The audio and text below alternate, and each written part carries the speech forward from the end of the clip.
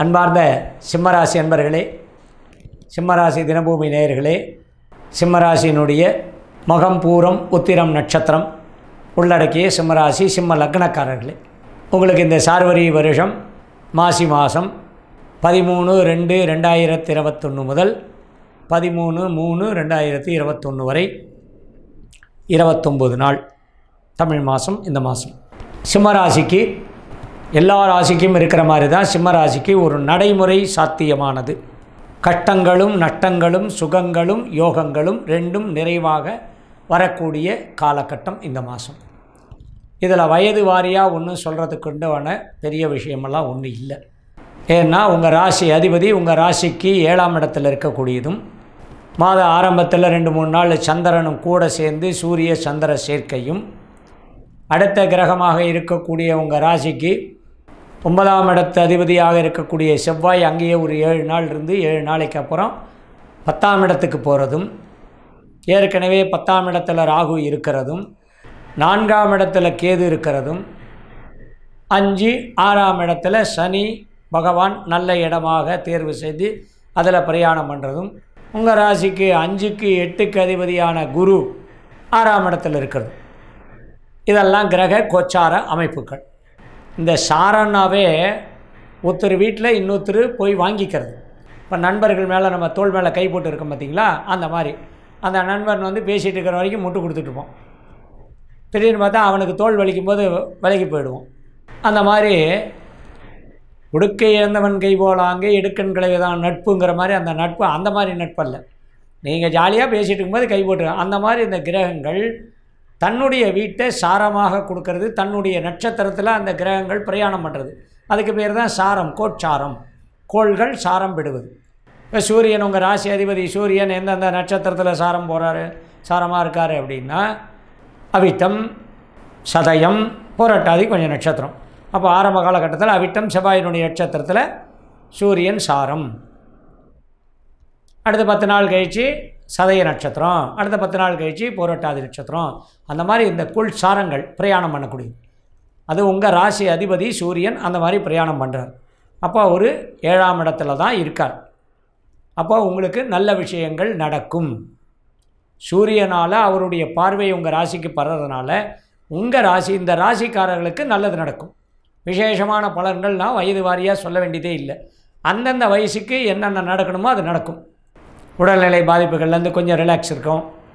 மன அமைதி இல்லாமல் இருந்த விஷயங்கள் ஒரு அரசாங்க வகையில் சில கஷ்டங்கள் நட்டங்கள் சில பிரச்சனைகள் இருந்தெல்லாம் கொஞ்சம் தீரக்கூடியது. நாளில் இருக்கக்கூடிய கேது சுகஸ்தானத்தில் அந்த சுகஸ்தானம் கெடுதலானது இருந்தது அப்படியே இருக்கும். ஆனால் கொஞ்சம் புத்தி உங்களுக்கு வரும். எதை அதை செய்யலாம்? யார் யாருக்கு இது கெடுதலாக இருந்தால் அடுத்தவங்களுக்கு இது கெடுதலாக இருக்கும்போது நம்ம செய்ய வேண்டாம்.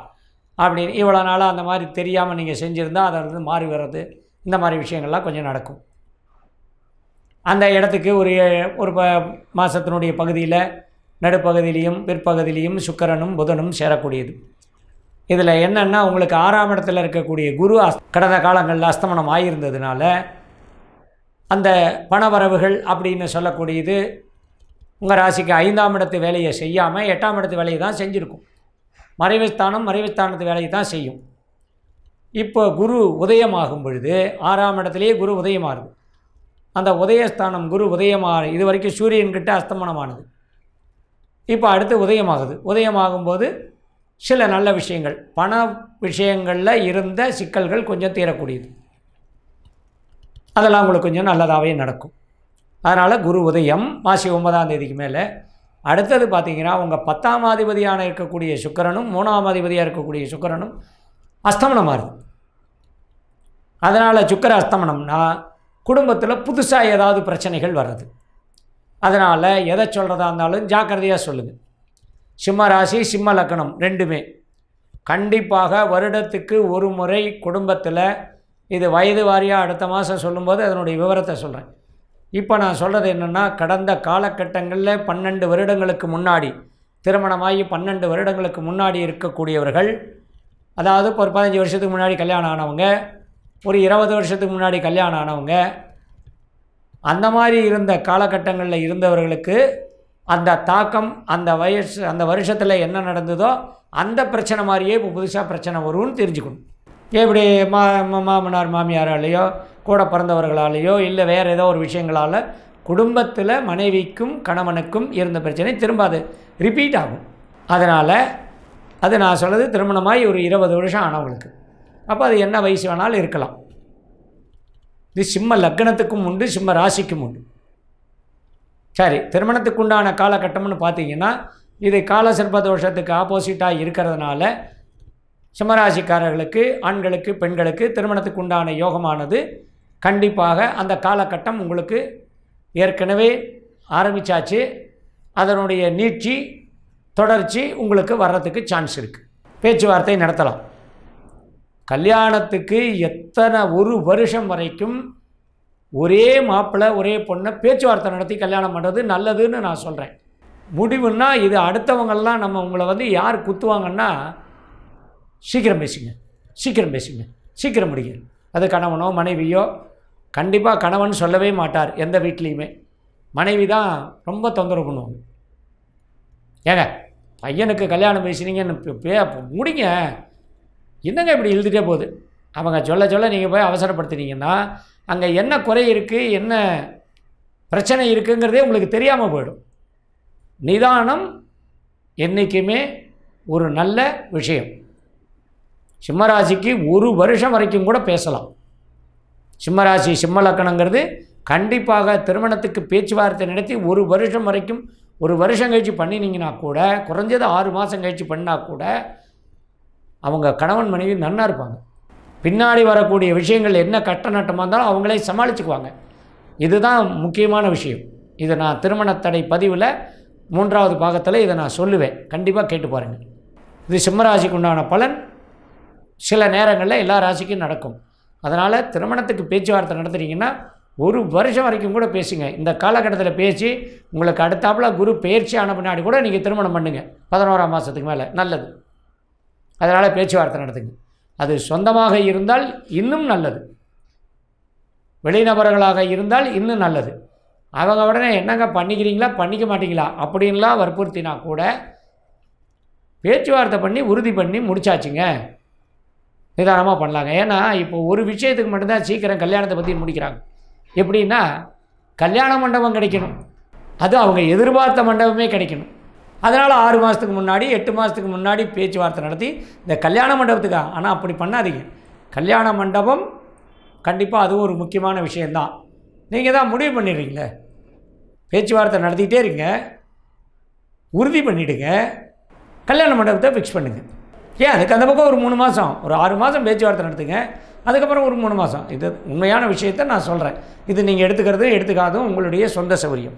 ஏன்னா எப்போவுமே கெட்டது நம்மளை சீக்கிரம் தேடி வந்துடும் நல்லது நிதானமாக தான் வரும். இந்த காலசர்ப்ப தோஷமும் இந்த நிழல் கிரகமாக இருக்கக்கூடிய ராகு கேதுக்களும் உங்களுக்கு சில இந்த விஷயங்களை உங்களுக்கு சீக்கிரம் சீக்கிரம் முடிவெடுக்க வைக்கும். ஏன்னா அந்த ராகுனுடைய பார்வை உங்களுடைய அட்டம அதாவது உங்களுடைய சப்தம ஸ்தானத்தை பார்க்கறதுனால இந்த விஷயத்தை நான் சொல்கிறேன் அந்த சூரியனுடைய பார்வை இந்த ராகுனுடைய பார்வை சூரியன் மறைவு பார்வை உண்டு.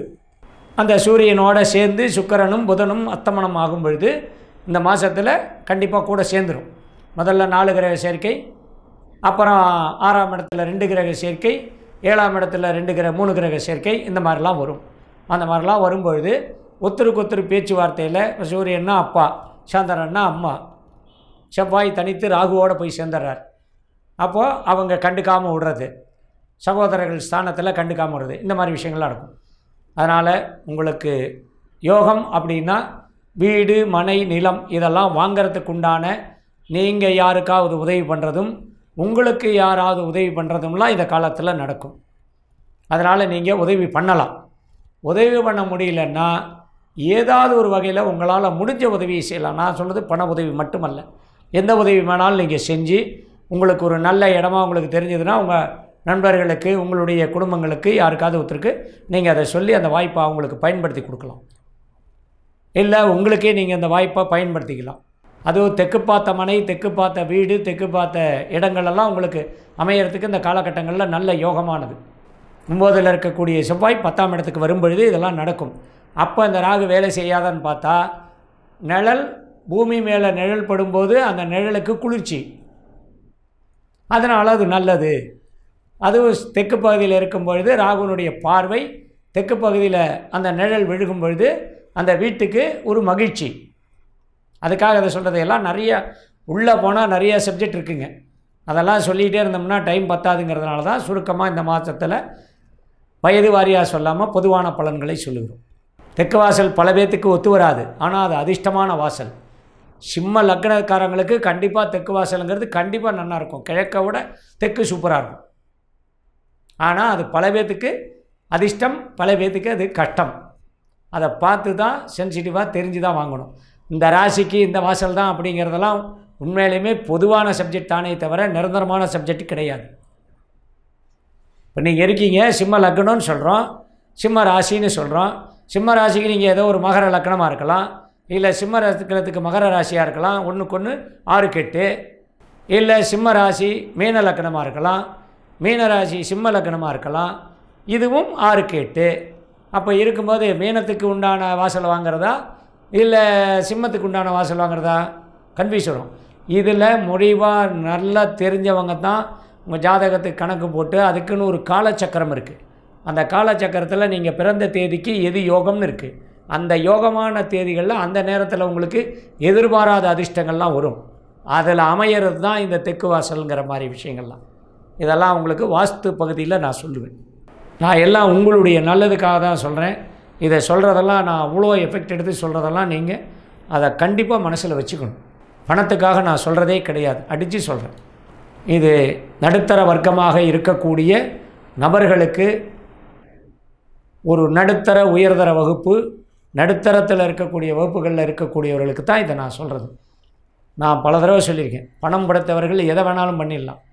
பெரிய பெரிய தொழிலதிபர்கள் எப்படி வேணால் இருக்கலாம். அவங்களுக்கு உள்ளுக்குள்ளே இருக்கக்கூடிய கட்டங்களை எங்கேயுமே இப்போ சிம்ம ராக்கணும் சிம்ம ராசினாவே பார்த்திங்கன்னா நல்ல அதிகார தோரணை அதிகார பவர் அதிகாரத்தில் இருக்கக்கூடியவர்களாக தான் இருப்பாங்க. இல்லைன்னா வந்துடுவாங்க கொஞ்சம் கொஞ்சமாக மேலேறி வந்துடுவாங்க அப்படி வரக்கூடியவர்கள் பழசை மழக்கக்கூடியவர்களாக இல்லாமல் பழசை வந்து நம்ம எவ்வளோ கட்டப்பட்டோமோ அதை நம்ம நினச்சி பார்க்கக்கூடியவர்களாக இருக்கணும்.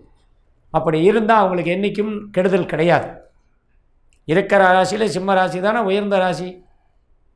மேஷ ராசி அனுகூலமான ராசி. விருச்சிக ராசி அனுசரிக்கிற ராசி. கடகராசி எதை பற்றியும் கவலைப்படாமல் சில விஷயங்களை மறைத்து பேசுகிற ராசி. இந்த மாதிரி ஒரு ஒரு ராசிக்கும் ஒரு ஒரு சில குணாதிசயங்கள் உண்டு. அந்த மாதிரி நீங்கள் இந்த ராசிக்கு உயர்வு வரும். ஆனால் பழசை மழக்கக்கூடாது. உயர்வுன்னா நடுத்தரத்துக்கு மேலே கொஞ்சம் அப்பர் அது திடீர் பூர்வ புண்ணிய ஸ்தானம் அப்படிங்கிறது குருவினுடைய வீடு உங்கள் ராசிக்கு. அப்போ பூர்வ புண்ணியத்தில் நீங்கள் என்ன பண்ணுறீங்களோ அந்த குரு உங்களை உச்சாணிக்கு வசத்திடுவார். ஆனால் ஏழாம் இடம் சனியினுடைய மூல திருகோண வீடு. குடும்பம் சரி இருக்காது. நீங்கள் வசர வசர என்ன ஆகும் அப்படின்னா குடும்பத்தில் கொஞ்சம் பிரச்சனைகள் வரும். நிறைய பிரம்மச்சாரி சிம்மராஜில் நிறைய பிரம்மச்சாரிகள் இருப்பாங்க. பிரம்மச்சாரிணிகள் இருப்பாங்க. ஏன்னா மக நட்சத்திரங்க அஸ்வினி மகம் மூலம்ங்கிறது குடும்பத்தில் எல்லாம் இருந்தும் எதுவும் இல்லாத மாதிரி கணக்கு. இதை நீங்கள் முடிவு பண்ணிக்கணும். அதனால தான் இந்த காதலும் போதெல்லாம் எதுவும் தெரியாது. கல்யாணம் பண்ணி ஏழு வருஷம் கழிச்சு எப்படி இருப்பாங்கன்னு பார்க்கணுன்னு நான் சொல்கிறேன் கல்யாணம் பண்ணும்போது எதுவும் தெரியாது. கல்யாணம் பண்ணி பத்து வருஷம் கழிச்சு என்ன பண்ணுறாங்கன்னு பார்க்கணும். குழந்தை பிறக்கிற வரைக்கும் ஒன்றும் தெரியாது. குழந்தை பிறந்த பின்னாடி என்ன பண்ணுறாங்கன்னு பார்க்கணும். சிம்மராஜி அதனால் நல்லதே நடக்கட்டும்.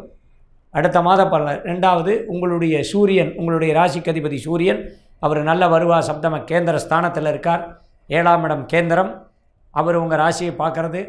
அதுக்கப்புறம் சுக்கரன் அங்கே வந்து பார்க்கறது புதன் அங்கே வந்து பார்க்குறது இதெல்லாம் ஒரு நல்ல அமைப்பாக தான் வரும்.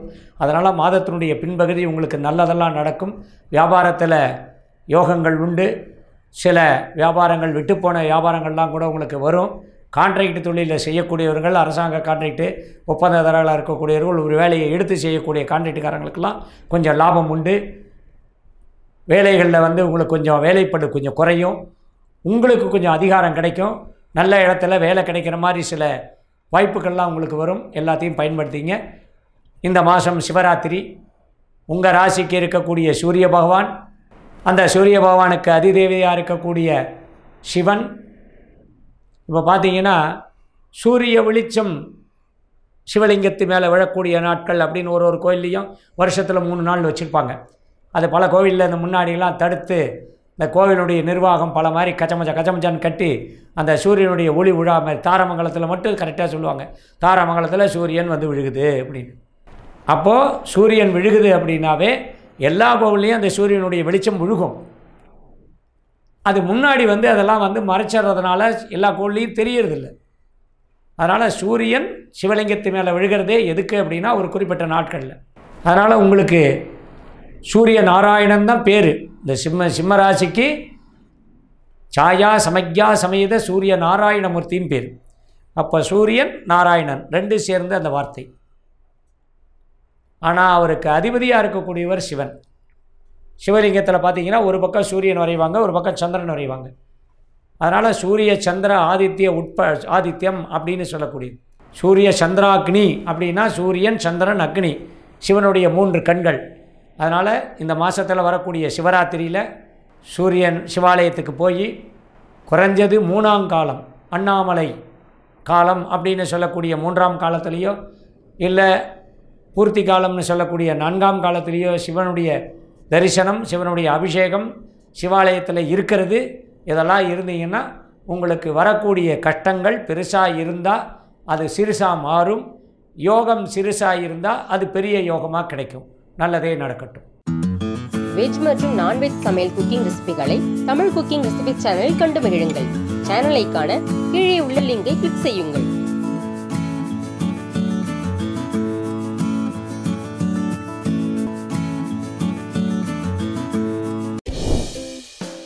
இது போல் வீடியோஸ் பார்க்குறதுக்கு கீழே இருக்க சப்ஸ்கிரைப் பட்டனை கிளிக் பண்ணுங்கள்